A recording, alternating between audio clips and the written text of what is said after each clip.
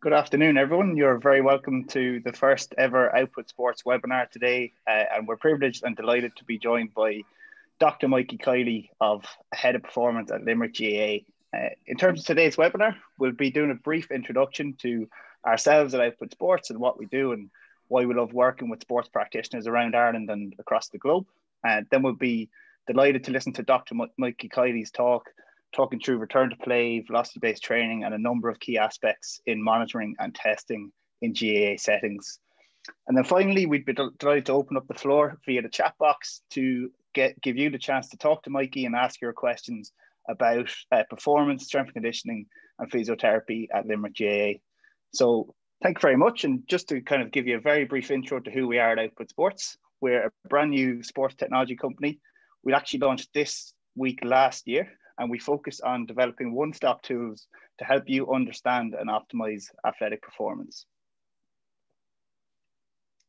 So we were actually researchers in UCD for seven years prior to launching, and our motivations were to make athlete testing simple, effective, and scalable to audiences that where it was never previously possible. So not only working at the elite level in sport, but also working at the club and county levels as well in sport and GAA. Our founding team are myself, Dr. Martin O'Reilly, a sports and exercise engineer, Julian Eberly, a theoretical physicist and data scientist, and Dr. Dara Whelan, who's actually a sports practitioner himself. So, as a team, we're really motivated to apply interdisciplinary expertise and listen to end users like yourselves to develop solutions which tr- truly help solve your sports performance problems. Our technology, uh, which some of you may never have uh, been introduced to before, is data driven it's highly accurate. We like to keep it simple and usable and easy to implement. And it's a one stop tool for everything off field from power to VBT to balance and strength. So, just because this might be the first time a few of you have heard of us Output, um, I'm going to pass over to our Chief Scientific Officer, Dr. Dara Whelan, who will actually just walk through the output system to five minutes, which will help provide a bit of context to Mikey's talk that will start at 10 past. So, thanks very much. Stuff. That's brilliant. Thanks, Mayor Martin. Um, I promise to be really, really quick because I can imagine you're probably not all here to see myself talk about output, so I will um, try and be as quick as possible with it. What I'm going to do is I'm just going to very briefly run through our output sport capture system and our output sports uh, hub system with it. So what capture basically is, is a small wearable sensor capable of measuring multiple components of fitness and that communicates to a hosting device. So any Android phone or tablet, it will communicate to that via Bluetooth. What I'm going to do now is I'm basically going to share my phone screen so you can get a feel for how the system operates as well. So I'm just going to share that screen and fingers crossed you're still going to be able to see both myself and the phone screen. you guys out of the way. Perfect. So basically what you can see on the front page, first thing to flag is the whole system is cloud-based. So we, you'll see how that can be really, really useful, particularly when we um, bring it into the hub and we have all the data synchronizing immediately to that with it. But it also means that any data that you collect, collect with the data will be um, automatically synced across different athlete profiles. So if you have six sensors, it basically operates as if you had six jump mats, six VBT devices, um, six timing gates, etc. You'll also see on the system as well that the front page will have a height and weight tracker in it. So the weight tracker is there. The height tracker will be for any underage athletes to look at maybe long-term athlete development, etc. We also have a wellness metric in it as well. So you can have um, perceived readiness to train, physical well-being, psychological quality, and sleep quality. And we do track all of that data along with all the rest of it longitudinally as well. So you can see how you compare it to your, your averages with it. So all of that is captured under my athlete profile and you can have as many athlete profiles as you want. But probably the nuts and bolts of the system is more in the objective markers that we test. And this is probably where we differentiate an awful lot from the competition is that we have a, broad range of tests with it. So we have upwards of about 100 odd tests in the system now at this stage with it. You'd be glad to hear I'm not going to run through all of those with it. I'm going to show you a couple of tests that, that Mikey will uh, talk through so you get a feel for how it operates with it. And if anyone kind of wants to see the, the tests or the, the system in more detail, um, please do hit request demo or, or, get in touch with us around that as well. So I said the vast majority of the tests are done with a, a, single sensor, except for the speed and agility, which is actually done with the camera of a phone to act like a light gates functionality as well. What I'm going to show you is just two tests here. So I'm going to show you bilateral counter movement jump test as a power metric and then our barbell velocity back squat test as well. So the way the system operates is you just basically place the sensor on the body location to be tested. And in this case, it's going to go on my foot because I'm going to do a jump. You get the athlete into the position, literally hit record, and then just do the jump. So once you land, you'll get your jump height out. My pretty poor jump height, unfortunately. Um, and you'll also get progress based on previous jump heights previous jump metrics as well. In that you can view all your longitudinal data. So I can view any of my historical data here. I can also view that in a chart format and be able to see how I compare to myself over a period of time as well. So this blue box here is plus or minus one standard deviation. I can see if I'm going above that or below that really simply to help with my athlete preparation. The other um, thing to show then around that, because we're talking about it as well, is VBT. So it is a VBT device as well. You literally place it on the bar, you choose your target number of repetitions, weights, and you can either have a maximum velocity that you want to hit or maybe a target range. And again, Mikey will be kind of going into how you utilize this for, for training of athletes with it as well. Once you have it on the bar, again, all you have to do is once you're in the, the right athlete profile, just hit record and rep on rep. So you can imagine me doing a back squat, you'll be getting your analysis. I'm in the marker there. Once I'm outside of it, you can see it goes white or too fast, and I'll get that feedback. At the end of the set, you'll see all your means and peaks with it. You can edit any of the reps that you don't want to use for analysis for whatever reason. And again, you can also view that progress longitudinally as well. So I can go in and view any of my historical reps with it, view again any of the metrics that I would have wanted to assess there. So everything from power, velocity, force, etc. with it. And again, I'll show you in the hub how that can be easily graphed as well. Final thing just to flag as well, because particularly if you're working with maybe a, large team of athletes with it, is the ease of use. You've probably seen an awful lot of athletes are probably able to self-drive this. It's literally it, pop it on the right body location, complete the task, get the data with it, and then come along, choose the right athlete profile, and you can move to the next test then as well. Next athlete can come along and literally complete the repetitions. So with that, I'm going to share with the um, hub, so you'll be able to see that. So I'm just going to reshare here, share here, share desktop too. Hopefully now you'll be able to see the hub data. So in the hub data here, this is where all that information will be synchronized to. So once you're immediately finished the test on capture, all the data will come through here to the hub. So the first thing you're greeted with here is all your athletes and their RAG statuses. So you're able to see basically is an athlete in a red, amber, or green state in the key performance indicators for them. You've chosen those key performance indicators here in the settings tab. So you can choose what you perceive to be those um, important metrics. And you choose those thresholds as either, you know, percentage thresholds or standard deviation thresholds. So if an athlete is within 5% of their uh, normative range, they'll show up as green. If they're between six and 10, they'll show up as um, orange. And if they're within, uh, sorry, if they're below 10%, they'll show up as red. That will really easily allow you to see basically the athlete. Um, you can filter by those in need of attention, which will top load those with the most amount of reds or those who are the top performing athletes, which will top load the most amount of greens. And I actually haven't gained it that myself will be at the top there, but I'm pleased to see it.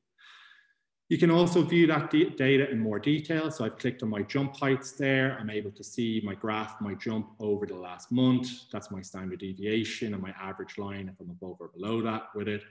And again, for something like VBT, it might make more sense to have a look maybe at uh, a table view to have a look at the different metrics in more detail, or maybe a set comparison, sorry, maybe a set comparison graph as well to have a look at how maybe an athlete is um, improving over a period of time. So you can have a look at rep on rep analysis in a number of different metrics.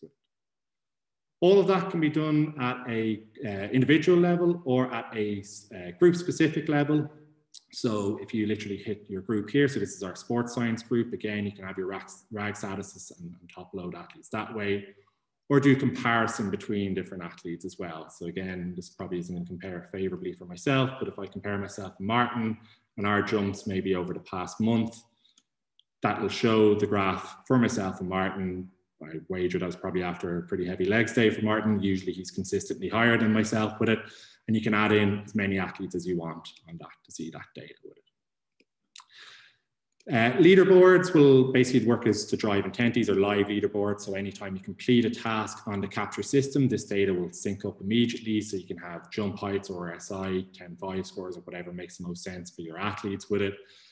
And then really usefully as well, you can generate reports both at an athlete or a group level and have those saved as templates so that when you're looking to maybe communicate um, how an athlete or a patient is getting on, all you need to do is literally type in their name, generate out a report. What you'll get immediately is a, um, uh, a PDF that you can then use to share with either the athlete or the, um, share this over here, the athlete uh, or maybe the um, coaches, whoever is most pertinent to. So I'll just drag this across.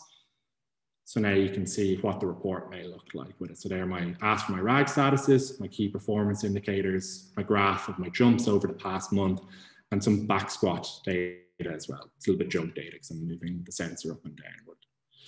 So that's kind of output in a nutshell. As you can see, output capture basically allows you to test multiple metrics with laboratory grade accuracy, all with a single wearable sensor and with a, um, a camera-based Android device with it. And the hub will bring all of that data into one place where you're able to visualize the data, uh, communicate with different stakeholders in the athlete care, and uh, drive intent through the use of leaderboard. So with that, um, that's all we'll, we'll, kind of talk through about the output system. Obviously, if there's any questions, we're happy to answer at the end of Mikey Kiely, um, Dr. Kiely's talk, and um, be great if you have any further questions to, to, touch base with ourselves either through request demo or through the website. So um, I'm going to pass over to Dr. Kiely. So Mikey's the head of performance with the Limerick Senior Hurlers. He completed his PhD last year um, and looked at the preparation strategies of professional jockeys and developed a standardized sport specific fitness protocol for the horse racing industry. He's obviously a really well respected coach. He's an MSc in strength and conditioning from LIT and is a, a S&C coach accredited with both the NSCA and the UK SCA and offers consultancy in both coaching and S&C. So with that, I'll pass over to Dr. Kiely and um, we can uh, leave some time for Q&A at the end. Thank you. Hey guys, um, very welcome to my kitchen um, in what are strange times. Um, but hopefully numbers are on the way down and we're back in the pitches and tracks around Ireland and wherever we're listening from um, fairly soon. And um, that was a, great introduction. Thank you. And thanks very much to for providing the opportunity for me to talk to you. Um, what, what I'll go through is a small bit on my philosophy and my training principles because I think they dictate why I would have used output sport and why I will continue to use out, output sport. Um, we'll then look at my application with uh, some of the Limerick lads, and then we'll finish with a, a case study and a, a, return to play protocol that I, I, would have completed in conjunction with our medical team. And then we'll just finally uh, take some questions at the end, uh, following some take home messages.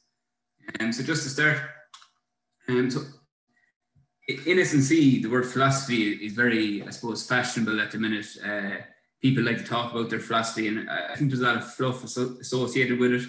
Um, I suppose in theory we are philosophers, but what I take from the word philosophy is that it's, it's a guiding behavior or principle that guides behavior. Um, now, for me, my philosophy it's, it should be multifactorial in that it, it will take in many elements of training, um, but it, it shouldn't really be contextual. It should be a strong enough belief system that despite the context, you'll always refer to it and you and use it. So why why is this important or why is it important to have guiding principles? And particularly now more than ever, kind of social media has has developed uh, an S&C, I suppose, climate that is totally different. It, it gives you results immediately and very easily. Whereas as S&C practitioners, particularly in team and high level elite individual sports, we know that it takes years to develop and progress both methodologies and athletes. Furthermore, we can't program everything we want. Sometimes a new shiny, a new shiny exercise or a new shiny methodology comes in the market, but with time constraints and, and real life practicalities of being an S&C coach, you have, if you have guiding principles, you can then revert back to them and it clears up any kind of conflicts that, that may arise. So I'll just take you through my principles of training at what they are now.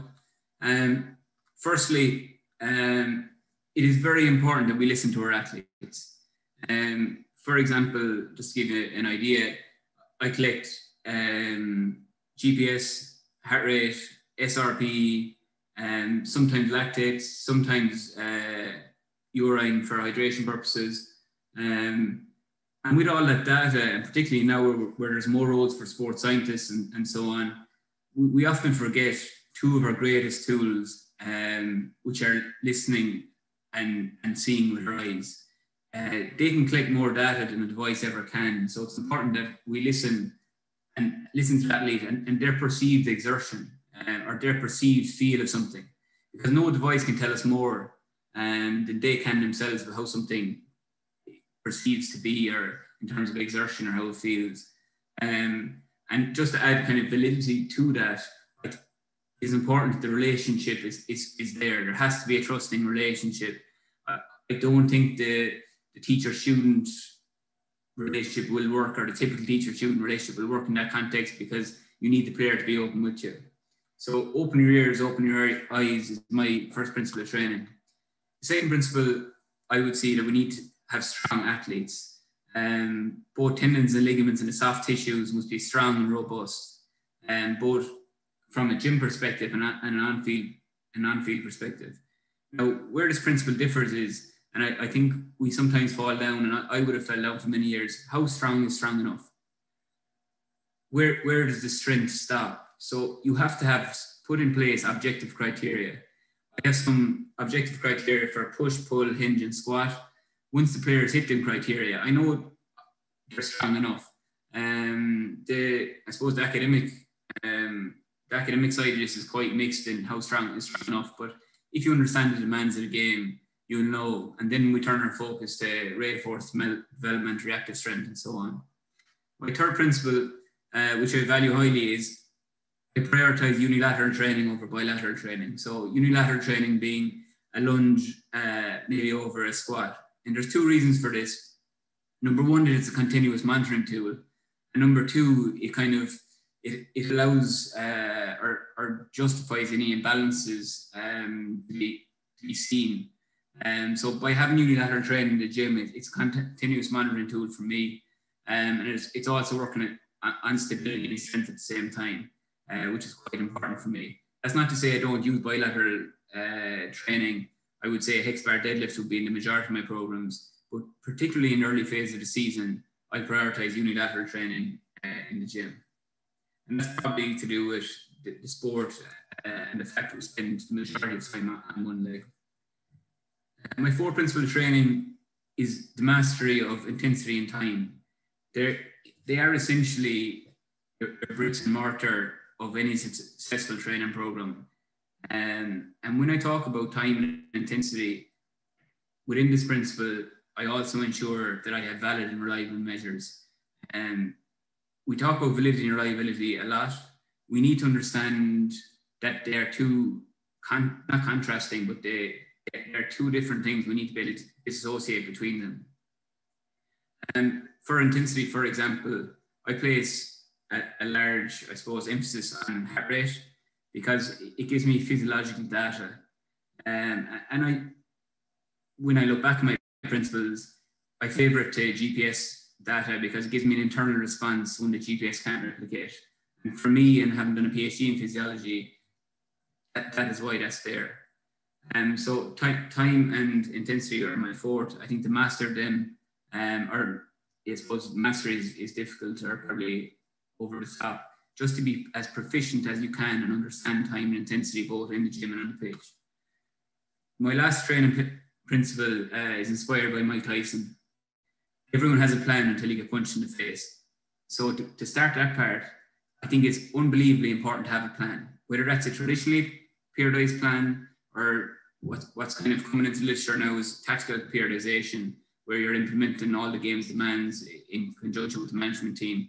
Um, but regardless if it's traditional or it's uh, tactical, have a plan. And I think the greatest uh, example of, of, this and getting punched in the face would be the last 12 months.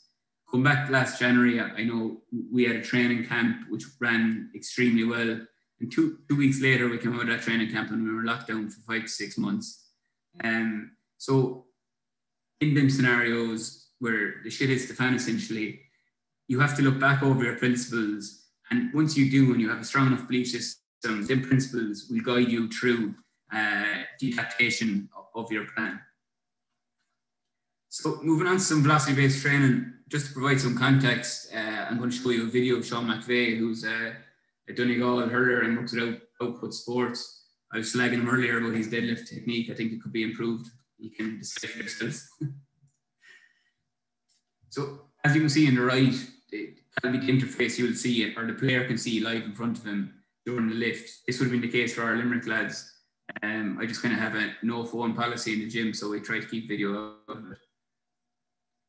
Um, you can get mean and peak velocity. You can see his previous reps, uh, peak power, or choose any metric you wish uh, to go on there. So velocity-based training, I suppose where it came from, uh, or sorry, not where it came from, but I suppose traditionally before velocity-based training, we would use percentage of 1RM to estimate load for training programs. So, for example, if this and right, her, her max uh, squat was 100 kg, um, we would program 85% of that 100 kg for strength phase. So she might have to squat, let's say, that 80 kg for her five six reps to hit the strength zone. Now, what velocity based training does is instead of moderating weight, it's moderating velocity to target uh, a specific uh, zone and a force velocity curve. Um, I'll just run through that briefly. So, the force velocity curve, if we look here, we have our, our y axis and our x axis along with velocity. Um, and this would have kind of, this work on, uh, I suppose, velocity based training would have been introduced by Brian Mann. And essentially, as the load in a given lift increases and the maximum intent is there to lift it as quick as possible, the speed at which speed at which uh, it moves decreases in a linear fashion. So we'd have a high force here for the maximum strength. And as we work down along, um, the speed will be increasing until we get to the bottom where we're moving the bar at 1.3 meters per second. So we have very light load on here um, and we're moving the bar as quick as possible. Now, um, depending on your periodization model and your plan, um, it would depend on what zone you'd hit at what time. So when you talk about traditional periodization, you probably start at, your maximum strength phase, moving the bar at less than 0.5 meters per second. And as the season progresses, you might be moving the bar at three meters per second with less load. Now, uh, that is totally dependent on your periodization model. Um, I tend to use a, a bit of both, um, and I'd always have a speed strength and speed element uh, to my program. And so general application, generally what we're looking at, and you see, it, see it on the phone here on, on the right hand side, we have mean and um, mean and peak velocity. Um, so mean velocity is a measure of velocity from the start of the concentric lift phase to the end of the concentric phase. And the peak velocity is essentially one data point on that, and it's the highest velocity attained through that concentric phase. So when I talk about concentric phase, if you think about the bench press, uh, it, it will be the upward movement from the chest. Um, we generally use mean velocity with the Limerick lads, um, but gen- and generally speaking, there is a fairly high correlation between both mean and peak. So if your mean increases, your peak will often see an increase as well. Now, something I didn't use but output provide is an angular velocity, which accounts for range of motion and consistency in angles throughout a lift. So what this will do is, and it's something I probably will progress my program ne next year, if you had, say, a weighted squat jump as a readiness to train measure, you could place the output device around your hip. Uh, and as you squat down, it will tell you the depth of the squat or the angle of the squat what that do for you is, I suppose, uh, prevent um, athletes manipulating the data through a greater range of motion that was acquired to create a greater um, velocity on the way up. So we're trying to get more consistent, uh, and that's something we have to progress with next year. So the benefits and use of v uh, VBT, I think calculate and monitor training loads based on fluctuations in performance, uh, enables the practitioner to target certain zone and force velocity curve. And the biggest thing is continuous monitoring tool. So it, it monitors the performance of the athlete. It can monitor readiness to train and, and meaningful change using coefficient of variation. And Chris Beattie, who's in alone, had a study on that, uh, which is quite interesting. But Tom Cummins would have actually been on that study also, just pointed out that it, is a reliable, it is, or sorry, it is useful to provide, um, I suppose, a readiness to train marker or subjective marker with your neuromuscular indicator. And just a real life example of that is I would have used CMJ as a readiness to train marker with uh, previous team I was involved with. And if a player comes to you, and I suppose this is the art of SNC, he comes in after a two hour drive from Dublin to Limerick. Uh, it is not because um, he's neuromuscularly tired that he, he, he produced a poor jump. It may be because he hasn't moved in two hours and he's coming in, he's in a rush, he, he gets three jumps. And you can't perceive that that you can't perceive that as him not being ready for training. So to have that subjective marker on the side or a pursuit or uh, a POMS um, may be beneficial to pair them together. But finally, a huge benefit of VBT for me was motivation and intent.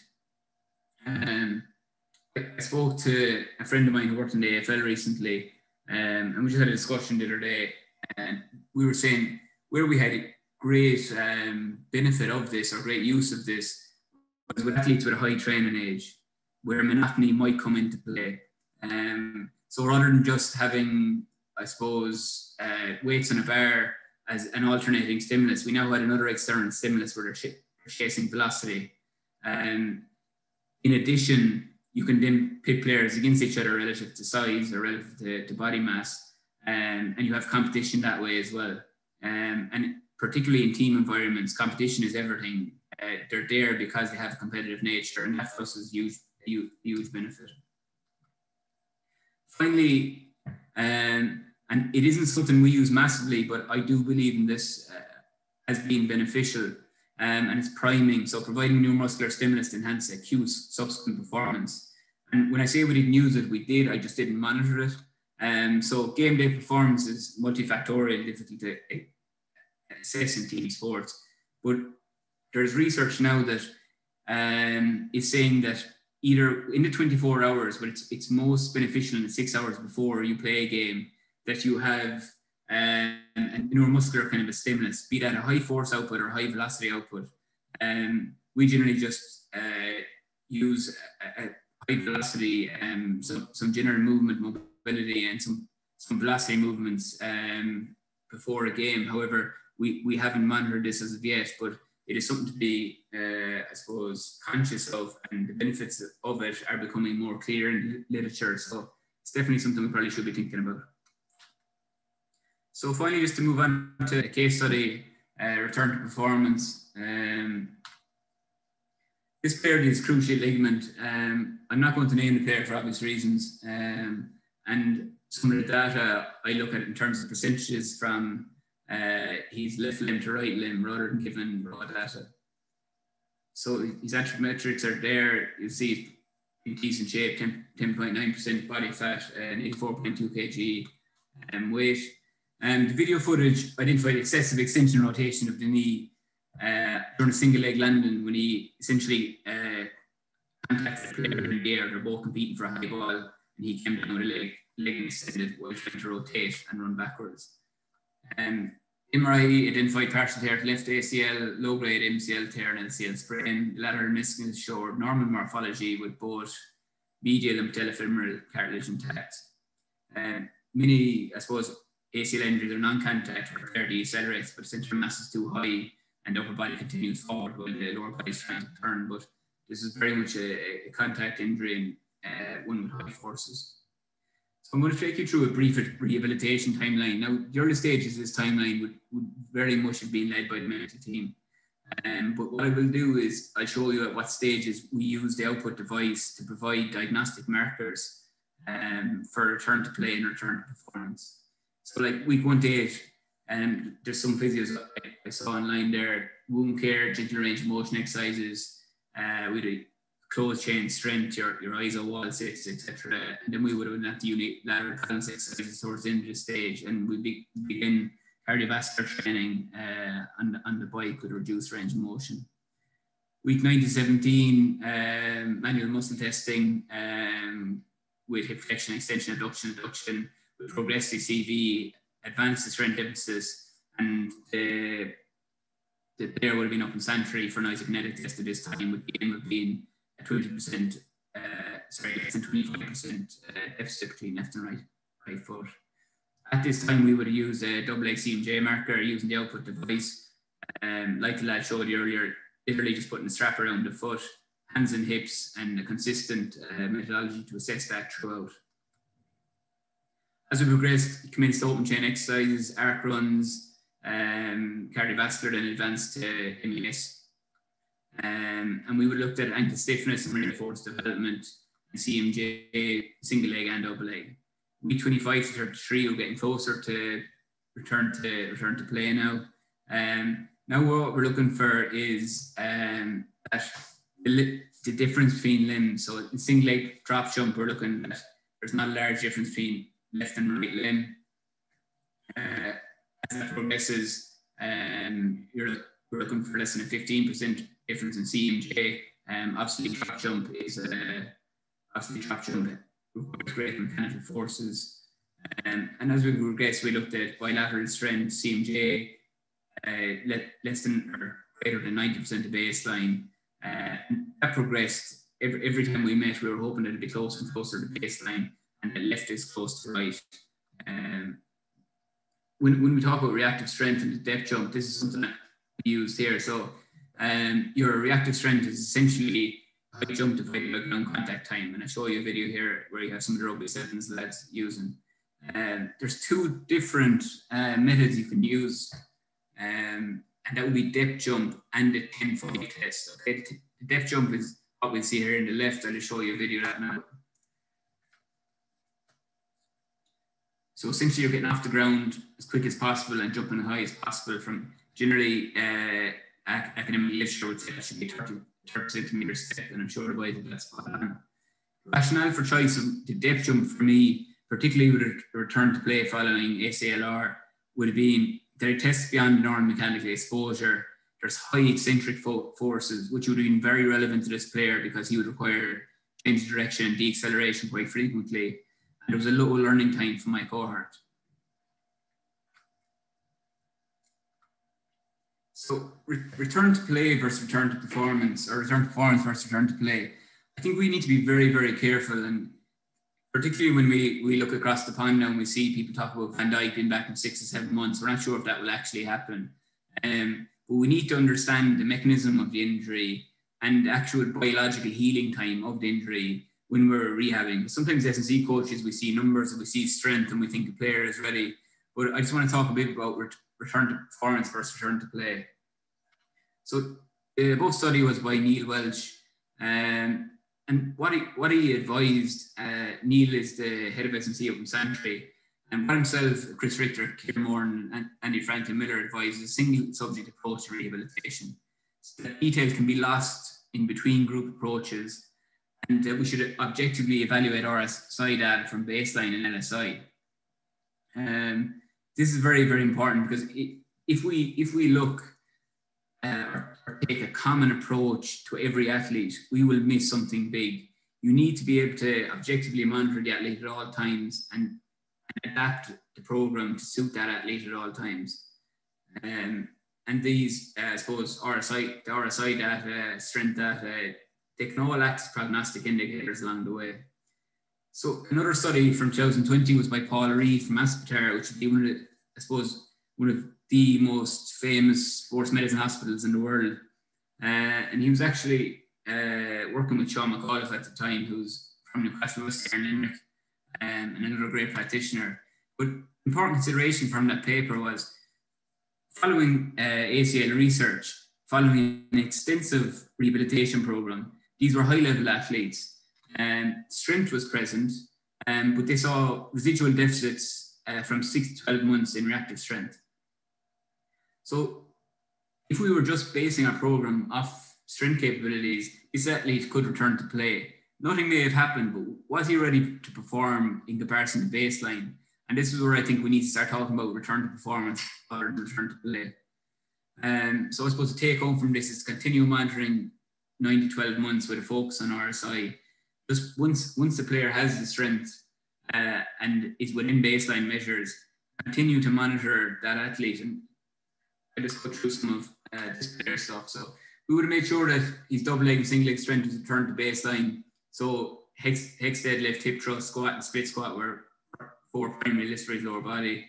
Um, double leg CMJ returned to baseline, which he did. He was at 102% uh, and returned to play.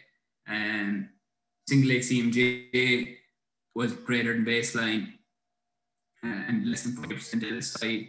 Um, double, double leg drop jump uh, was not at baseline um, on the nine month mark. So it was 2% under. And his single leg drop jump, uh, it was less than 10% LSI, but it wasn't as 94%, it, it wasn't back to, to baseline.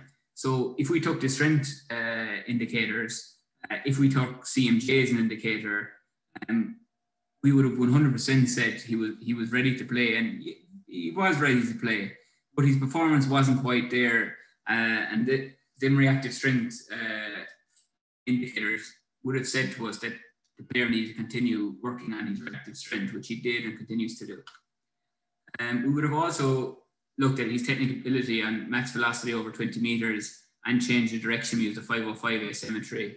And his left and right over three trials um, was 2.28 and 2.26 seconds. So uh, pretty pretty decent in, on that accord and very little imbalance. Um, so just to go on to finally to sum up our reflections and take home messages.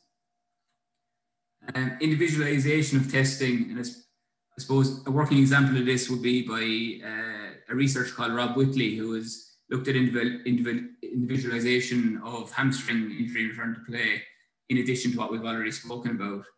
Um, biological healing time varies, but regular testing can lead to prognostic indicators.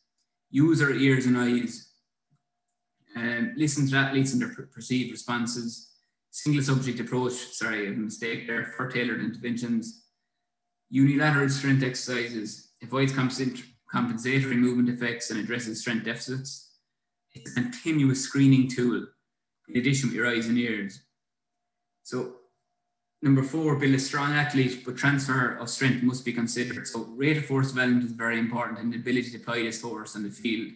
And a working example of this would be while change of direction is dependent on external force, for factors such as speed and degree of cut at 30 to 40 degrees, we don't need many breaking forces. So reactive strength would be important in this. So for your midfielders who may not have to turn uh, 180 degrees too often and go backwards, this reactive strength would be very important. Or a half forwards who who have long, fast runs.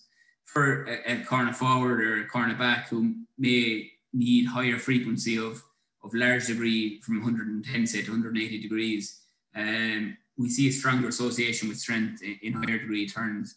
And um, so you can you can apply or individualize your programs as need be for this, or at least in the latter stages uh, or early stages of season, whichever you prefer, um, that we have a focus to our programming.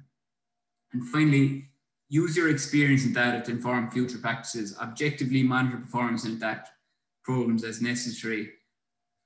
There's a, a, a model in injury that I was only reading about recently, it's the Van Mechelen model, identify incidents and mechanism of the injury, the prevention measure, and assess the effectiveness of the strategy longitudinally.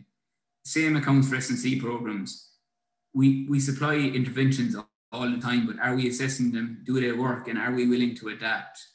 I think we should have a strong belief system uh, that will inform that will inform our, our intervention and then evaluate our intervention post season and see can we make any manipulation to it that will progress our, progress us going forward. Um, just a reading list and references. I think these go up online afterwards and they may help around this area. Um, and thanks very much. And, and just a word and output, lads, for anyone that hasn't used them. Um, I don't say this lightly. I look for validity and reliability in every device I use. It's very, very important to me that I, I can I can give accurate feedback to athletes. Um, but what trumps that is these lads are just good people and very good to deal with, provide a very good uh, support system with the rest of the staff. And I couldn't recommend them highly enough to work with. Uh, thank you.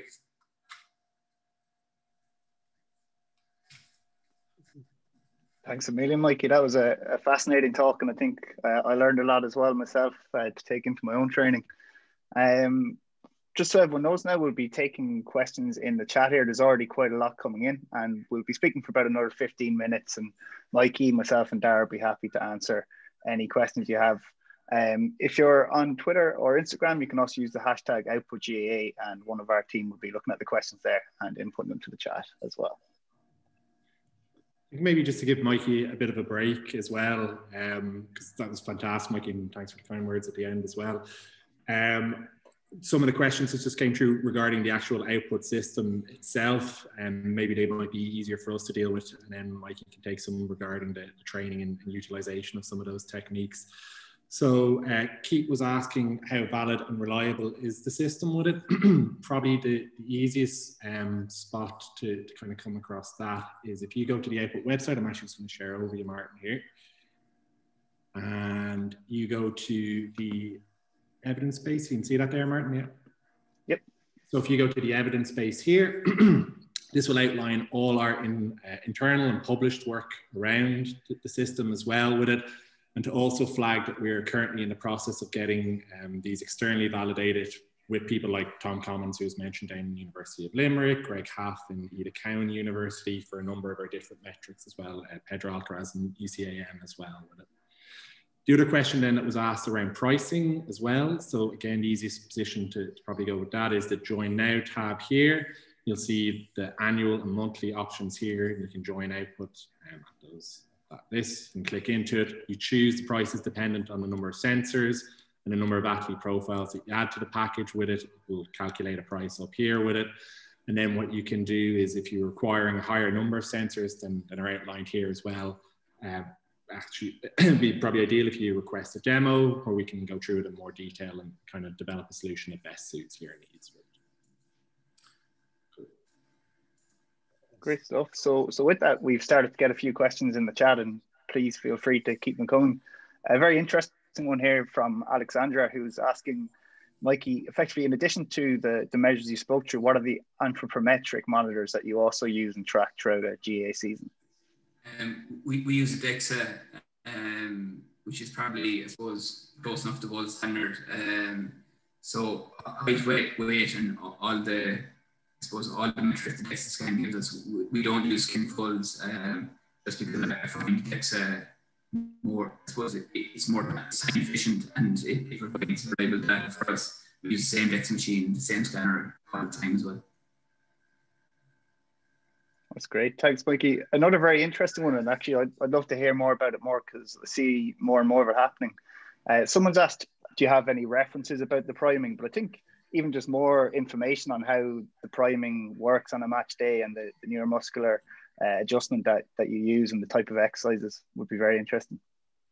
Yeah, there's some references in that reference reference list, but there's there's plenty more out there. And uh, the Hedison C in Institute at the minute would would have recently wrote an article on it as well. If you can find Eamon Flanagan's Twitter page, and the I suppose it, it's it's not even new. It's out. It's there a while. Um, on match day, what we do, we don't have access to a gym on match day. Like it, I was in um, the Millennium Stadium in Cardiff before. They actually have a gym next to their dressing room, uh, out in a out in the tunnel and so they can go in uh, before a match or before they, they begin, or they can do their activation there, where they can get either a heavy or light lift. And what that what that's meant to do is stimulate your muscular system.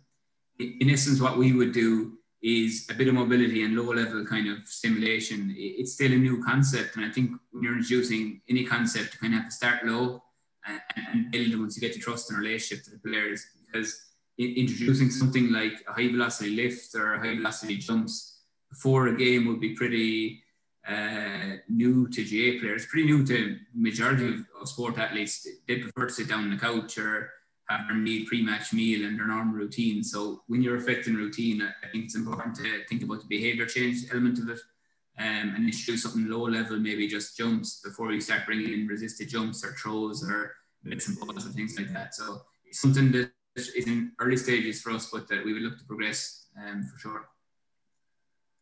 Thanks, Amelia, Mikey. And actually, a very interesting one here. We were actually having a chat uh, about this yesterday.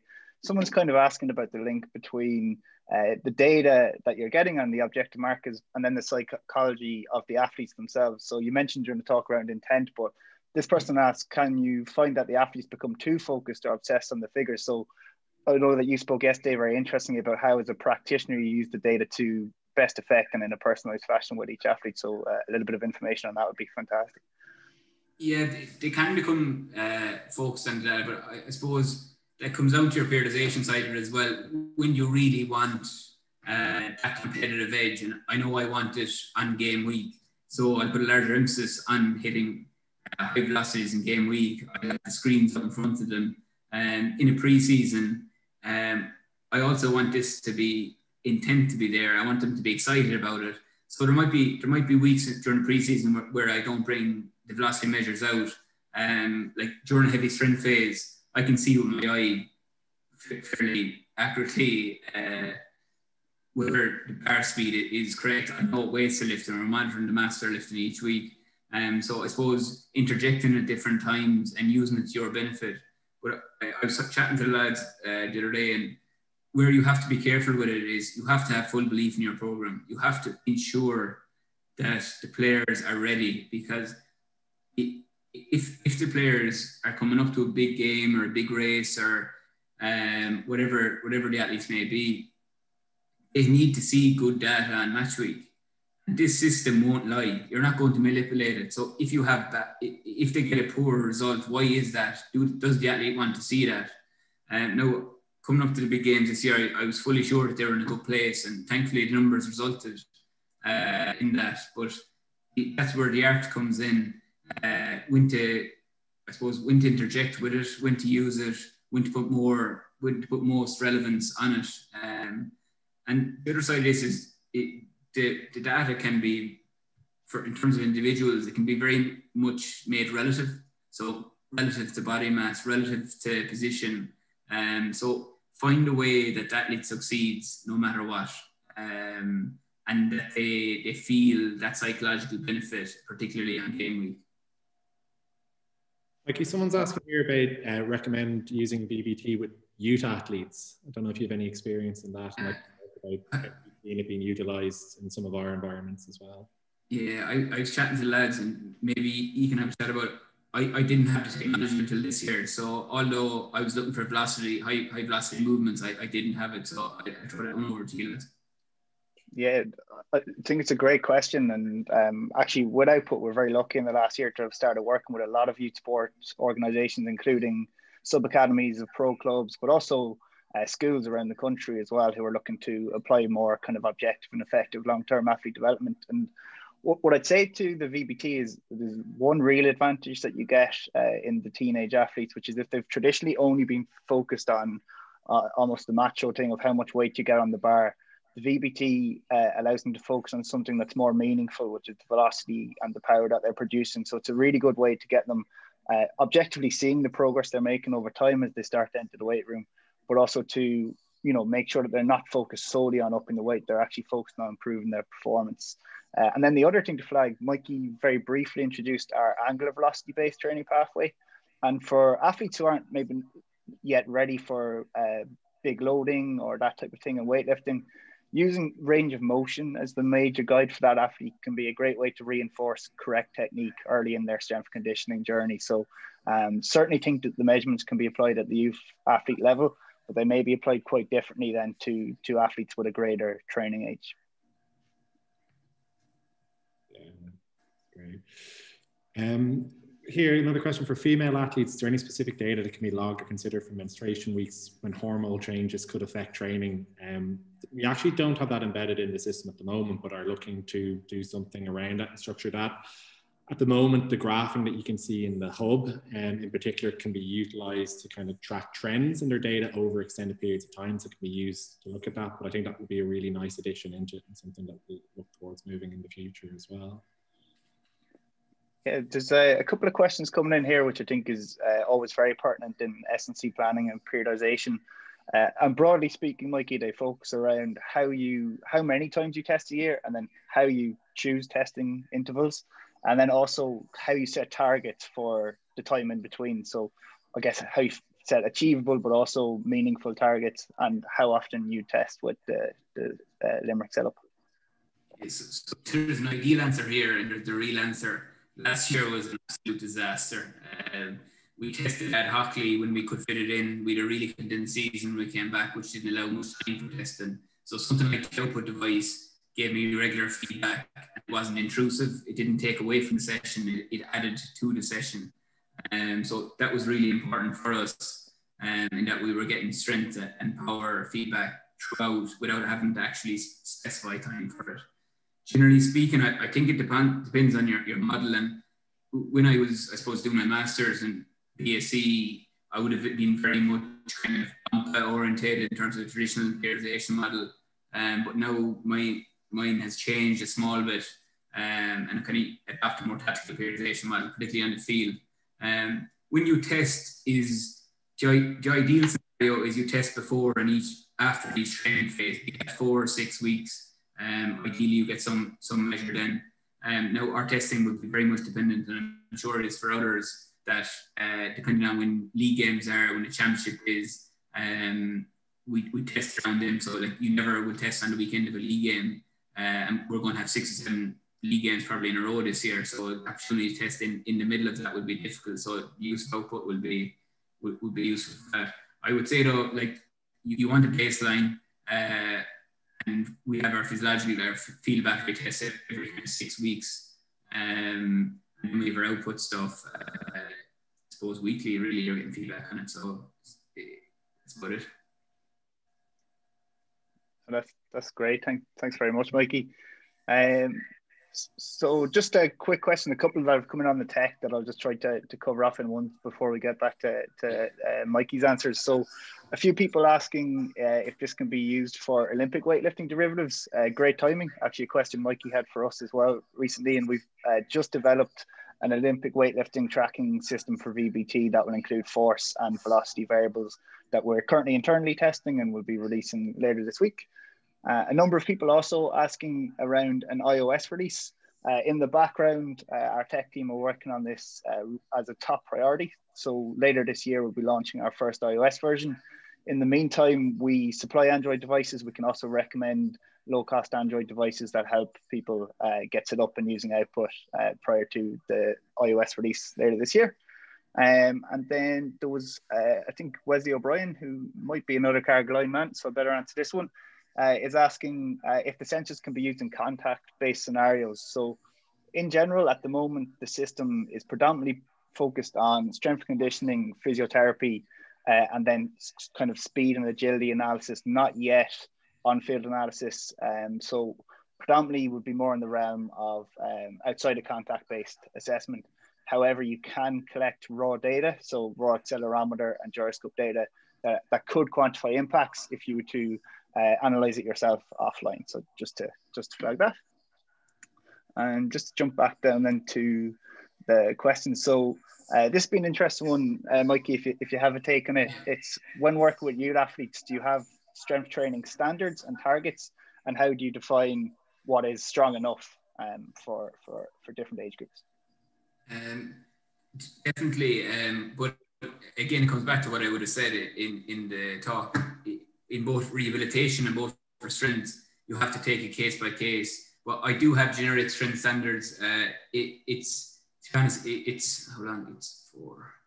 It's three or four years since I, I, have worked and had a team of youth athletes, so I'd be only guessing at what they were at that time. Um, I haven't for senior level. Um, obviously, that's something quite personal in terms of what we ask our Limerick lads. But I, I would take it case by case but definitely with, with the youth athlete, uh, before strength comes mobility and stability. Ensure they move well, ensure they're stable, um, identify when their growth spurt is going to be, be it um, be it female or male, that's going to come at a different time. That peak height velocity is going, they're going to be pretty insta- or unstable at, at that time. So ha- have a large uh, emphasis on mobility and stability. And if you get them right, uh, it's time to start loading, and you can load during that phase as well. Um, but in terms of quantifying I think it's down to the athlete, their training age. There's a lot of parameters there that probably you have to come up with yourself. Unfortunately, I don't have a straight answer for you. No, thanks, man, Mikey. Was a great answer. Um, so just so everyone knows, we'll just keep going with the questions for another five minutes, and then we'll be wrapping up. Uh, one question is: uh, people are asking, will we be sharing the recording of this afterwards? Uh, and the answer is uh, indeed yes. So we'll be emailing around a copy of the talk later today uh, for all of you to use and, and reference in, in your own learnings and, and applications. Um, there's a, a, good question here, Mike, and I know that you do use it with the, the guys inside. So someone said that they've seen that Olympic weightlifting can help improve athlete power output uh, and increasing their velocity. Uh, have you seen this uh, yourself, and do you apply Olympic weightlifting with the, the Limerick guys? Yeah, so we, we use Olympic weightlifting and kind of derivatives of it. Um, so uh, as, as Martin would have said there, we're kind of it's not a problem, but it, it, it's a let's come up with a solution, particularly where the bar rotates, um, come up with an, algorithm to, I suppose, monitor um, our, our Olympic lifts and our, particularly our hang cleans and clean variations. Um, so I use it quite frequently. There's very little uh, better uh, to increase power output than uh, snatch and clean derivatives. Unfortunately, we don't have players, some players that are mobile enough to do the full Olympic lift. So like we we'd swap like for instead of a snatch, we might do a single arm snatch instead of uh, a full clean. We might do a hang clean. Um, you can you can do a dumbbell clean, but we uh, we we use the derivatives of Olympic lifting quite quite a bit to honest. Yeah. Yeah, absolutely. And, and just for anyone who is wondering about the complexity of technique in Olympic lifts and research on uh, more easy to execute movements with a similar effect, uh, if you look up research from Tim Suchomel um, from Carroll University, he's got some fantastic stuff coming out on that topic at the moment that I, that I'd highly recommend. Um, Patrick, you've just asked about the output system. Uh, that you see that we track a number of things uh, in terms of readiness, balance, and uh, you're asking, I guess, more widely around uh, assessment of concussions and injury. So a very good uh, question, and we, in our time in the Insight Centre and the UCD School of Physio, looked a lot at the use of balance as a marker of um, neuromuscular function before and, and after following um, head injuries. Um, the short answer is we, we already uh, have some end users that apply the balance data to, to inform their decision making as part of wider protocols. Uh, and we'll also be releasing a blog on this in the near future about how the output system can help feed into those very complex assessments as well. Um, and then uh, I think it's probably a good time to say, Mikey, uh, Kevin Morris is saying thanks a million for a highly engaging presentation, and quite a few people are, are seconding that. So I would also like to, to second that and say thanks a million for, for everything today. Um, I think probably a great time actually to wrap up the talk. Um, I'm just to say from output and, and everyone here today, we're extremely grateful for the insights and the knowledge that you've shared with us today. Uh, and uh, really look forward to continuing to work with you throughout the, the next year and onwards. And uh, hopefully, uh, after things start to normalize, we'll see you in person rather than just over Zoom. Yeah, perfect. Thanks very much for joining, guys, and thank, thanks to you guys too. Cheers, everybody. And just to flag as well, I know we didn't get to any all the questions with it as well, but absolutely feel free to email us through the, the website um, and uh, hit request demo in there as well. And we'll be happy to answer any questions that we didn't get to today as well. But thanks a million. Thanks for everyone for giving up their time as well. And look forward